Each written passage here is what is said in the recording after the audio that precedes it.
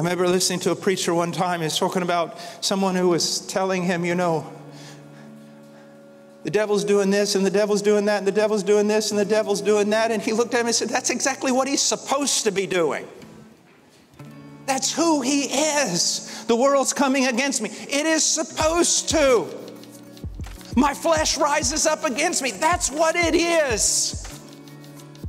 But this is not our home. This is not our ultimate reality. There is something waiting for you beyond the veil if you are in Christ that is so extraordinary. If you were to catch a glimpse of it right now, it would fracture your mind and destroy you. So, yeah, I can hope. I can hold on go forward.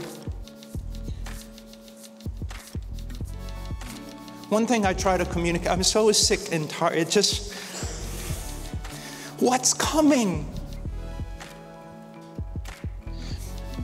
I don't know the fraction of it. And what I know as an older minister, I can't even begin to communicate it. And that's the pain of the preacher.